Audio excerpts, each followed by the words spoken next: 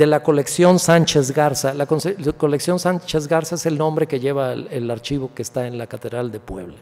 También se encuentran en tres expedientes de la Catedral de México. Hay 21 obras suyas en el archivo de la Basílica de Santa María de Guadalupe.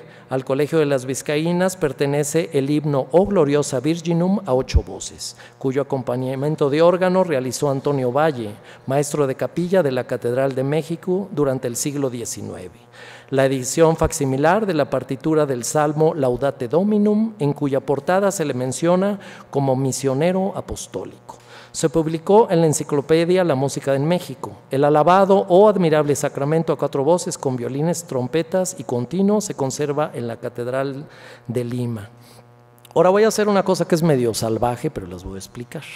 Este, me dieron el apoyo este de que se llama Apoyarte para, para proyectos artísticos. Entonces ahorita estoy terminando de hacer toda esta edición de la música y a partir de enero voy a empezar propiamente a hacer la grabación de, de, un par de obras de él. Sin embargo, bueno, pues no me gusta ir a las conferencias y hablar y hablar y hablar y no, y no se escuchó algo, ¿no? Yo les voy a pedir que, que, ahora sí que me vean con ojos de amor, porque le voy a pedir a Naum, que es nuestro ingeniero técnico, que le dé play a un archivo de finales. Yo ya sé que es una salvajada, pero lo voy a hacer. Asumo las consecuencias. Entonces vamos a escuchar un poquito de una música que tiene 250 años que no se escucha. La vamos a escuchar en finales y yo les prometo en unos meses tener la grabación. Si nos apoya, maestro, por favor.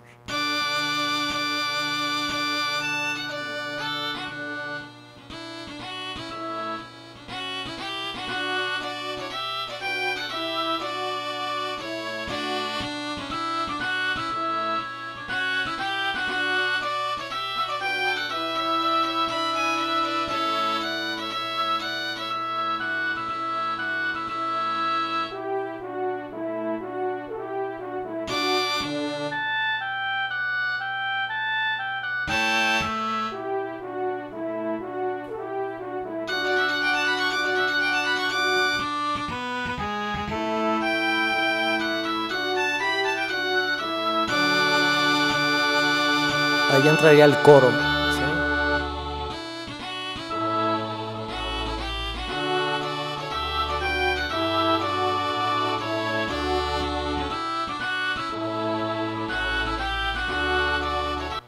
Muchísimas gracias. Bueno, por, por, cuestión de tiempo este, me voy a ajustar a, terminar la presentación.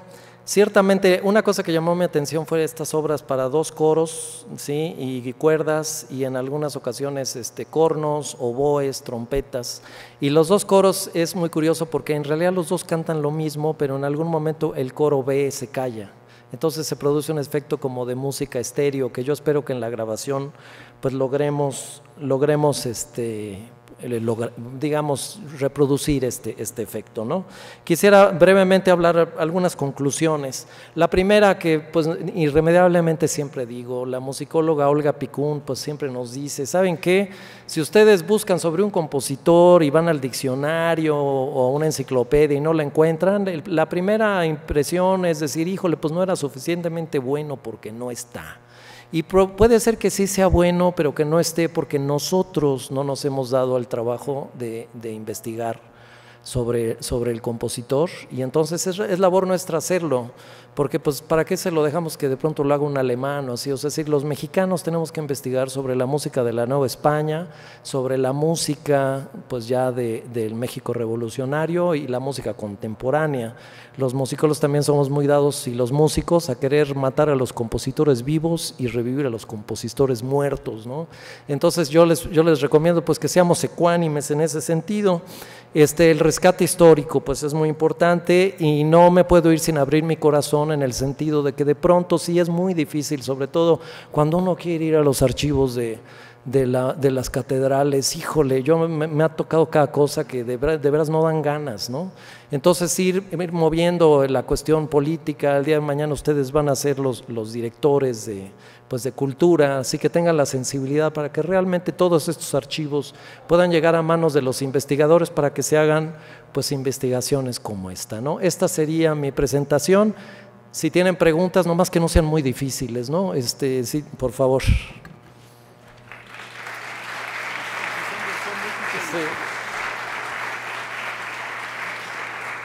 El micrófono, muchas gracias. Comenzamos pues con la sesión de preguntas y respuestas.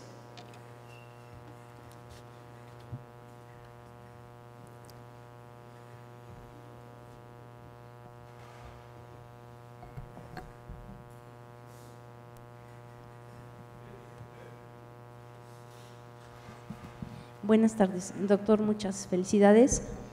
Y adicional a la felicitación, agradecerle por este tipo de investigación, igual a, nuestra compañera licenciada Yasmín. Lo digo desde mi ámbito de compositora, realmente es eh, un agradecimiento de que haya gente interesada en el devenir de, los compositores, ¿no?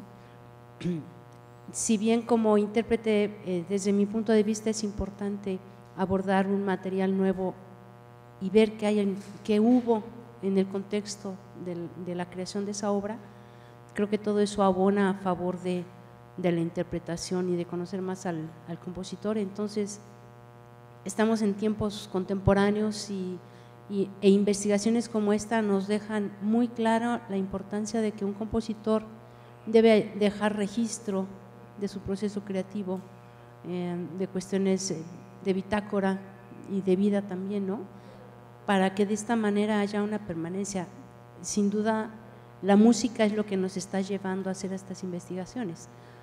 Pero personas como usted y como, como Yasmín y como Antonio, pues, pues realmente deben de ir de la mano de, de los creadores. Entonces realmente mi comentario es un agradecimiento. Espero algún día tener musicólogos como ustedes eh, ocupados en, en mi quehacer creativo. Gracias, maestra. Seguramente así será, maestra Laura. Muchísimas gracias por el comentario.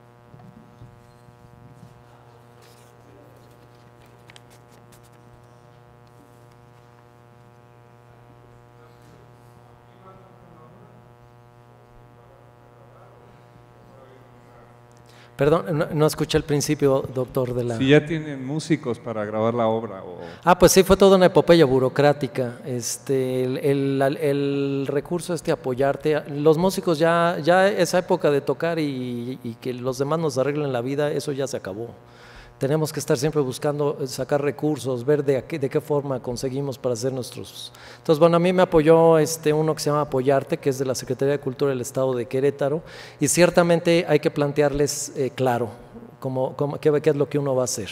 En un primer intento lo quise hacer muy institucional, con, se dice el pecado, pero no el pecador, este, con, con instituciones musicales así ya... Este, renombradas y avaladas de la ciudad de Querétaro y era tal burocracia que yo dije, si así me va cuando me estén dando las cartas, ¿cómo me va a ir a la hora que graben?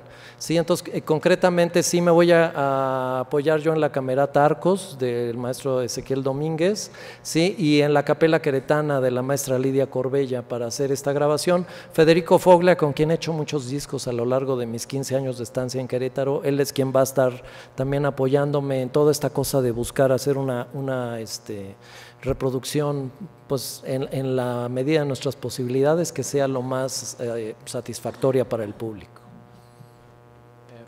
Ok, este, bueno, respecto a lo que comentaba usted, de que, bueno, vamos a suponer que yo quisiera hacer algo muy similar a lo de usted, que es enfocarme en un compositor que no es muy conocido.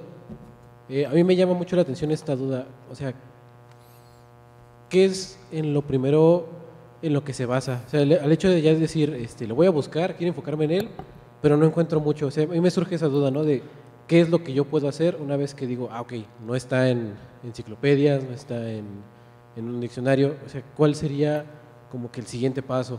lo que usted está preguntando es importantísimo. Para la investigación hay una, hay una palabra clave que se llama pertinencia. Ustedes pónganla así en grande, así en su habitación antes de empezar y unos días antes, pertinencia. Por ejemplo, yo digo, no, pues yo soy, este, estudio ciencias políticas y voy a hacer un trabajo sobre Donald Trump, ¿sí? Entonces yo voy a ir a la Casa Blanca y lo voy a entrevistar para, para preguntarle ciertas cosas que yo sé que van a ser muy importantes para todos. ¿Ustedes creen que a mí me van a dejar entrar a la Casa Blanca? Pues no, por supuesto, ¿no? Es decir, tiene todo lo que ustedes vayan a hacer, primero tienen que ver como decían en los pueblos, hay que tener todos los pelos en la mano, ¿no? Es decir, la, respuesta a lo que usted pregunta es antes de aventarse el chapuzón, hay que, pues como en la alberca, ¿no? Así que llega uno a la alberca y mete el dedo gordo del pie a ver si está frío o caliente para ver si ya se avienta uno, igual. Ver si lo que usted va a, pretende investigar hay el suficiente material y si tiene usted acceso a él. En el caso mío, les he de decir que la maestra Lidia Gerberov me facilitó dos de las obras y esto realmente hizo que, fuera, eh, eh, me, resolvió la vida en cierto sentido, porque he tenido eh, con las catedrales batalla para, para lograr esto. Les voy a enseñar rapidísimo ya para terminar. Esto que están viendo ustedes es del, es del Museo de Lina. Entonces este, este musicólogo Stanford se dedicó a microfilmear este, todas estas obras de la catedral. Yo he estado yendo al Museo de Antropología a, sacar mi investigación de ahí, porque en la catedral he ido tres veces y, nunca va el cuate, ¿no? Luego a la de Puebla les mandé un mail, les dije, oigan, soy el doctor Hernández de la Facultad de Bellas Artes. Me contestaron diciéndome, no, pues eh, sabe qué? que ahorita están eh, suspendidas todas las investigaciones, ¿no? Entonces, Perdón que, perdón que termine yo quejándome, pero usted fíjese mucho cuando vaya a hacer su investigación de que realmente tiene el material para hacerla. ¿sí? Muchas gracias. Pues eh, no sé si habrá alguna otra pregunta. Yo les agradezco muchísimo su atención, su presencia. De nuevo a la universidad le agradezco la, la invitación y pues muchísimas gracias. Que tengan buena tarde.